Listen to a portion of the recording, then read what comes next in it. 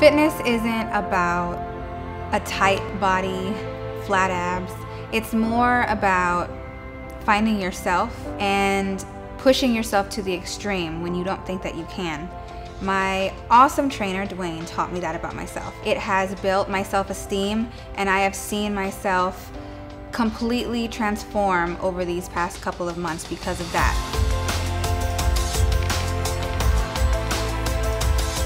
When you want something bad enough, you're gonna go for it. And that's where the believe and achieve motto comes from. Dewayne speaks on this every time we train. You gotta believe in yourself to achieve the goals that you want being a mom, it's, it's very hard to do that. There's gonna be discouragement, but you have to remember that you're doing it for yourself.